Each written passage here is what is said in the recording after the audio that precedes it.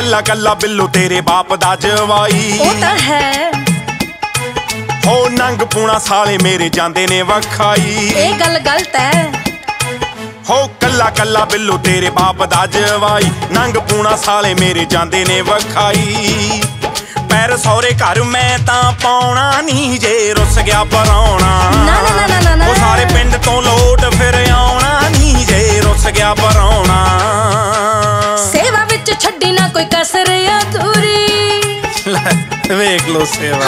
ਬਿਨਾ ਗੱਲੋਂ ਜਾਵੇਂ ਤਾਂ ਵੀ ਸਾਰਿਆਂ ਨੂੰ ਕੂਰੀ ਹਾਂ ਬਿਨਾ ਗੱਲੋਂ ਹੀ। ਹਾਏ ਸੇਵਾ ਵਿੱਚ ਛੱਡੀ ਨਾ ਕੋਈ ਕਸਰ ਅਧੂਰੀ ਬਿਨਾ ਗੱਲੋਂ ਜਾਵੇਂ ਤਾਂ ਵੀ ਸਾਰਿਆਂ ਨੂੰ ਪੂਰੀ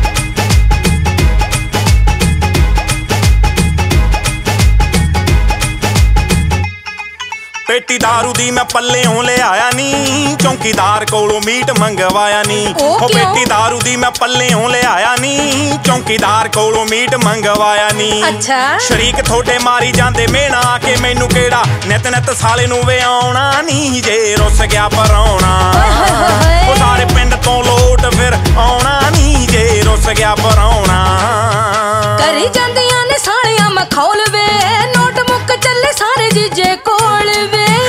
ਉਹ ਭਰਿਆ। ਉਹ ਕਰੀ ਜਾਂਦੀਆਂ ਨੇ ਸਾਲਿਆਂ ਮਖੌਲ ਵੇ। ਨੋਟ ਮੁੱਕ ਚੱਲੇ ਸਾਰੇ ਜੀਜੇ ਕੋਲ ਵੇ। ਕੱਢ ਦੇ ਤੂੰ ਟੋਲਾ ਸਾਰੇ ਮਨ ਚ ਕਰੋੜਿਆ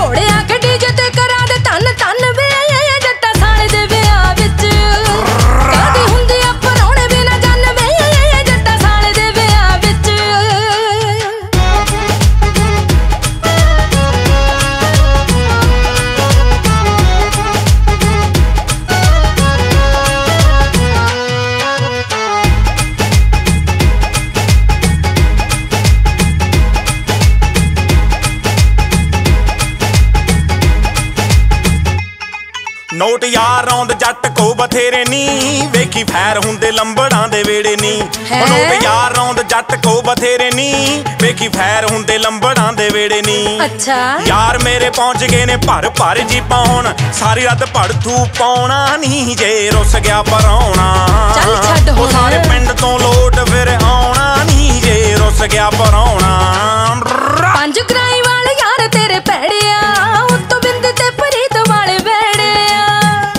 ਅਸੀਂ ਤਾਂ ਇਹੋ ਜਿਹੀਆਂ।